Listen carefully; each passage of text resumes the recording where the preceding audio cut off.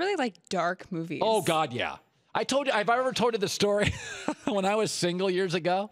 So I grew up in the state of Washington. That's where Ted Bundy, the serial killer, is from, right? I love that stuff. Yeah, yeah. So do I. And the Green River Killer.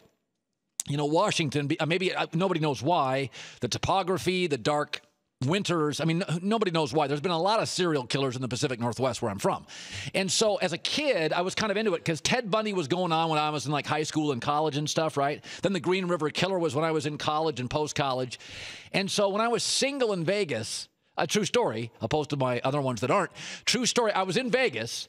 And uh, uh, I would read those. You know, those were the books I liked to read. So I had like 15 serial killer books. And one time on a date, somebody came over, glass of wine, and she looks over at my book cabinet and she's like, "You've you've got nine books on serial killers." And I'm like, "Well, my mom. I'm from Seattle. She was in that house 90 seconds tops." I'm like, it's just what I like to read. It doesn't define me. I really, I'm healthy. I'm, but I read serial killer books. I like Narcos is my favorite TV show since The Sopranos.